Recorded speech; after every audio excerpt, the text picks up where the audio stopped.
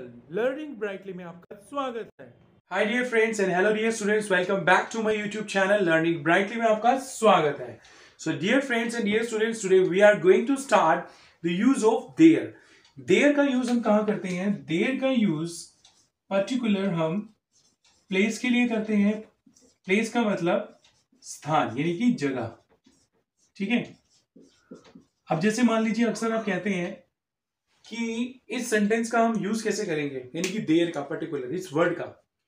जैसे हम बोलते हैं कि मेरे घर में चार कमरे हैं, मेरे घर में एक टॉयलेट है, मेरे घर में एक किचन है, मेरे घर में चार कूलर हैं, मेरे घर में तीन पंखे हैं, मेरे घर में दो एलईडी हैं, ऐसे बोलते हैं ना तो अपने घर की चीज़ों को बताने के लिए या पर्टिकुलर कोई चीज़ कहाँ रखी हुई है, उसके लिए आप देर का यूज़ करेंगे। और इसका यूज़ आप पर्टिकुलर किसके लिए कर सकते हैं? जैसे आपका अगर पैराग्राफ होता है या आप किसी को कोई चीज़ बताते हैं, जैसे the city I live in, यानी कि मैं किस शहर में रहता हूँ। उसके बारे में आप बताना चाहते हैं, जिस शहर में आप रहते हो। जैसे हम दिल्ली का एग्ज़ाम्पल ले देते हैं। There are many hospitals in Delhi there is a Qutub Minar in Delhi and there is a lotus temple in Delhi there is a AIIMS All India Institute of Medical Science in Delhi and there is a I R okay? All india radio in delhi okay? And there are many metro stations in delhi. And uh, there are many schools in delhi. There are many colleges in delhi. तो जब हम particular किसी city के बारे में बताना चाहते हैं मैंने तो आपको एक एग्जांपल दिए कि जैसे the city I live in ठीक है? तो let start the use of there particular for the place सबसे पहले आपको देयर लिखना है फिर आप अगर एक चीज़ के बारे में बोल रहे हैं तो आपको इज़ लगाना है अगर ज़्यादा है तो आर ठीक है? डियर इज़ फिर यहाँ पर आपकी थिंग्स आती हैं, यानी कि जिनके बारे में आप बात कर रहे हैं। एक है तो थिंग ज़्यादा है तो आप क्या लिखेंगे? थिंग्स लिखेंगे। लास्ट में आपने क्या लिखना है? ऑब्जेक्ट लिखना है। ठीक है? और या फिर हम इसे लास्ट में एज ए प्लेस भी बोल सकते हैं। आपने प्लेस को डिफाइन ज़रूर करना है। जैसे मैं आपको एग्जांपल देता हूँ। There is a cooler in my home. There, एक है तो is थिंग क्या है? अकूलर प्लेस क्या है? यानी कि मेरा घर, यानी कि ऑब्जेक्ट या प्लेस आप ऑब्जेक्ट के बदले डायरेक्ट प्लेस भी लिख सकते हैं। जैसे आप अक्सर बोलते हैं कि मेरी क्लास में 25 स्टूडेंट्स हैं तो आप क्या लिखेंगे? There are 25 students in my class ठीक है? There are twenty five students in my class मेरे घर में दस सदस्य हैं. There are ten members in my family ठीक है? अभी तो मैंने शर्ट नहीं पहनी हुई है तो मैंने टी शर्ट पहनी हुई है. जैसे हमारी शर्ट में एक, दो, तीन, चार, पाँच, छ, सात, आठ, नौ, दस दस बटन है. So there are ten button in my shirt और एक हफ़्ते में सात दिन होते हैं. There are seven days in a week एक साल में तीन सौ पैंसठ दिन होते हैं. There are 365 days in a we year और अगर लीप ईयर होता है तो there are 366 days in a year there are 12 months in a year so like this you can define okay जैसे there are 32 teeth in a human being एक मनुष्य के मुँह में बत्तीस दांत होते हैं। ठीक है? देर आर थर्टी और thirty one days in a month like this ठीक है dear students and dear friends अगर आपने नेगेटिव बनाना है तो आपने इज़ और आर के बाद नॉट लगाना है। जैसे there is not mobile in my pocket ठीक है? There is not mobile in my pocket आप डायरेक्ट नो भी बोल सकते हैं। There is no mobile in my pocket ठीक है? अक्सर हम क्लासरूम के बारे में बोलते हैं। क्लास में कितने बच्चे हैं? क्लास में कोई भी नहीं है। There is there is not any student in the class any का मतलब कोई भी नहीं है, या हम डायरेक्ट बोल सकते हैं there is no student in the class like this ठीक है? और जब आप क्वेश्चन पूछते हैं तो आपको इज़ पहले लिखना है, या आर फिर आप देयर लिख देंगे. सॉरी फॉर द डिस्टर्बेंस अभी जो शो रहा है बैकग्राउंड में, फिर आपने क्या लिखना है? थिंग्स लिखना है। फिर आप लिखेंगे प्लेस या आप इधर ऑब्जेक्ट भी लिख सकते हैं, ठीक है? ऑब्जेक्ट डाल के आप ऑब्जेक्ट लिख सकते हैं और इंटेरोगेटिव साइन जैसे are there twenty people in the park twenty people या फिर ट्वेंटी पर्सन ठीक है, ये भी ध्यान रखिए कि पीपल के साथ एस नहीं आता, वो अपने आप में प्लूरल है पर्सन के साथ आपने एस लगा दिया। Are there twenty people in the park क्या पार्क में बीस लोग हैं? ठीक है, और जैसे what is there in your hand कई बार क्या होता है कि हम कुछ छुपा रहे हैं। जैसे मान लो ये पेन है, मैंने छुपा लिया। तो आप बोलेंगे what is there in your hand आप बोलेंगे there is a pen in my hand या there is nothing in my hand मेरे हाथ में कुछ भी नहीं है। ठीक है? तो इस प्रकार से आप नेगेटिव और इंटेरोगेटिव सेंटेंसेस बना सकते हैं। ठीक है?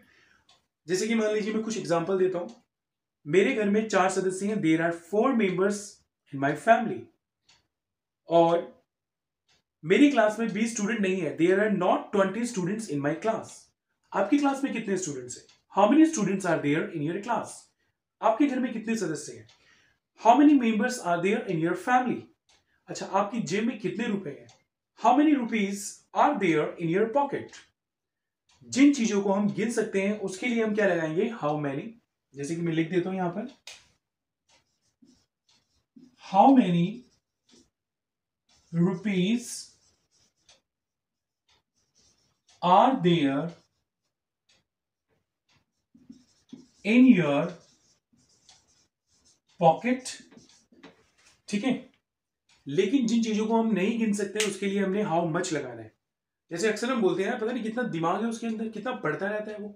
How much mind has he ये तो नॉर्मल हैजर लेकिन हम इसको ऐसे बोलेंगे जो अपडेटेड है हमारा use of हैजर how much mind does he have उसमें हमने देर का यूज़ नहीं किया।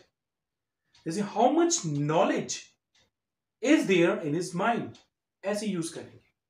ठीक है? How much water is there in the bottle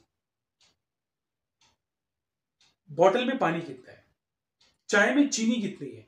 How much sugar is there in the tea ठीक है? ये अक्सर हम यूज़ करते हैं। How much sugar is there in the tea या इन टी सीधा बोल सकते हैं? ठीक है? जैसे how much money do you have ये तो डूडस का यूज़ हो गया। हाउ मच मनी के बदले डूडस नहीं यूज़ कर रहे हम? There how much money is there in your pocket आपकी जेब में कितना पैसा है?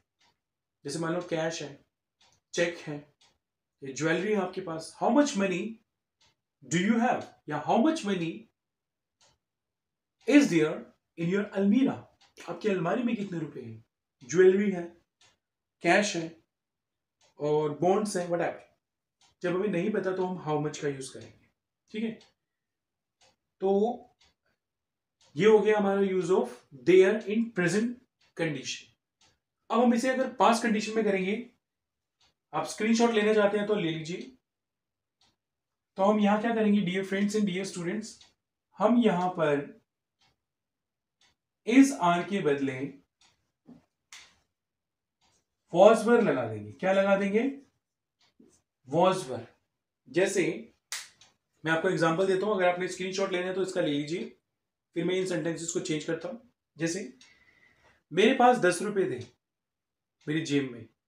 There were ten rupees in my pocket हमारी क्लास में पहले बीस बच्चे थे अब तीस हो गए हैं।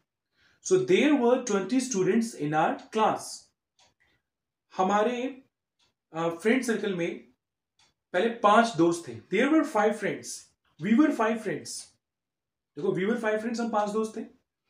And there were five students in our friend circle but अब बीस हो गए हैं। सो देर आर जब हम पास्ट कंडीशन में करेंगे देर का यूज़ पास्ट कंडीशन यानी कि पास्ट सिचुएशन के हिसाब से तो प्लीज़ आप क्या कर सकते हैं इधर देर का यूज़ करते समय वॉज़ पर लगाएँगे। जैसे there was a cooler in my home मान लो अब आपके घर में एसी है। आप क्या कहोगे? There is AC in my home but there was cooler in my home were twenty two students in my class अब मान लो थर्टी स्टूडेंट्स है. There are thirty students dear students हम कंपैरिजन करके एग्ज़ाम्पल शेयर करके इसे अच्छे से सीखेंगे और अच्छे से बोलेंगे. ठीक है? तो पहले सीखिए, लिखिए और कोशिश करें कि आप इन सेंटेंसेस को रेगुलर लिखें, समझें और बोलें. रटना नहीं है आपको. ठीक है? जैसे there were thirty two teeth in a human being. ठीक है, अब मैं इसके अंदर ये चेंज कर देता हूँ। There were thirty two teeth in his mouth.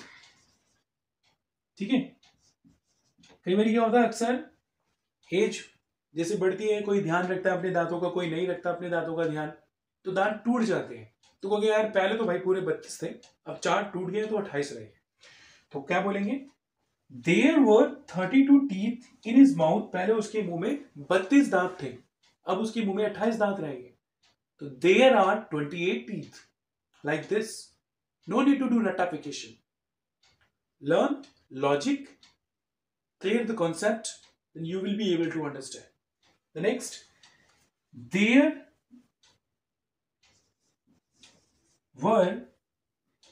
अब ये डेज़ हटा देता हूँ मैं। इस सेंटेंस को चेंज करते हैं। क्योंकि देखो, सात दिन पहले थे, हफ़्ते में, अभी भी सात दिन है। There were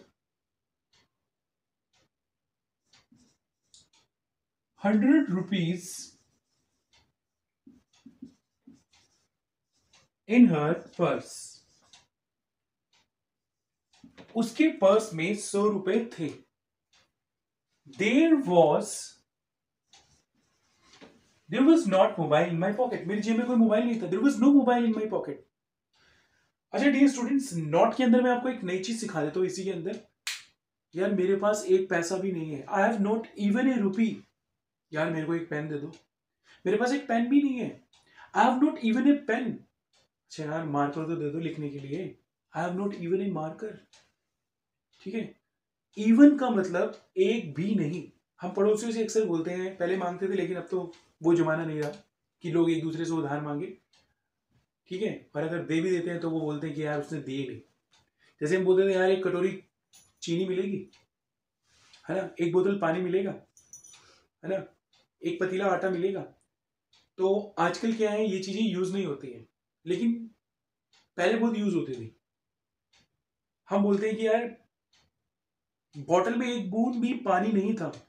There was not even a drop of water in the bottle I repeat there was not even a drop of water in the bottle ठीक है? और क्लास में एक बच्चा भी नहीं था. There was not even a student there was no one there was not any student there was not even a student ठीक है? क्लास में एक भी बच्चा नहीं था. अच्छा इवन का मतलब एक भी नहीं था. अगर कोई भी नहीं है जैसे there is not even a पैसा इन माई पॉकेट मेरी जेब में एक पैसा भी नहीं है। प्रेजेंट में there is not even a paisa. There is not even a rupee ठीक है? और जैसे मान लो आपको यार मेरे पास तो भाई एक भी मिनट नहीं है। एक मिनट एक सेकंड भी नहीं है। ठीक है? I don't have even a single moment एक पल भी नहीं है मेरे पास। ठीक है? तो आई डोंट हैव अब देर इज़ तो नहीं बोलेंगे उसके लिए। ठीक है?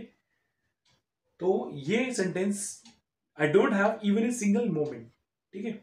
ये बिल्कुल करेक्ट लग रहा है। जैसे मान लो अगर आप इसको बोलते हैं there is not even a single minute in my hand how does it look थोड़ा सा ठीक है बट डोंट वाला ज़्यादा बेटर है। तो चलिए आगे करते हैं पास्ट में। There was not any student in the class जब हम क्वेश्चन पूछेंगे तो इसमें वॉज़ वर्ड पहले आ जाएगा। ठीक है? जैसे were there twenty people in the park what was there in your hand आपके हाथ में क्या था? What were you hiding from us आप हमसे क्या छुपा रहे थे? आप ऐसे यूज़ कर सकते हैं। And how many rupees were there in your pocket and how much sugar was अक्सर आप कहते हो, यार उसके घर गया था, मैं चाय पी, इतनी चीनी थी। मैंने वहीं छोड़ दी। एक सिप नहीं how much sugar was there in the tea please आप इसे यूज़ करो, तभी आपको आएगा। ठीक है? केवल देखने से, सुनने से नहीं आएगा। वी हैव टू स्पीक एक बार थोड़ी सी शर्म आएगी, एक बार थोड़ी सी झिझक होगी, लेकिन जब आप इसे रोज बोलेंगे तो आप सीखेंगे। ठीक है? सो आई होप कि आपको पास में ही यूज़ ऑफ़ देर का कॉन्सेप्ट टॉपिक क्लियर है। अगर आप स्क्रीनशॉट लेना चाहते हैं तो ले लीजिए। ठीक है? So thank you so much for listening to me attentively and carefully and have a nice day.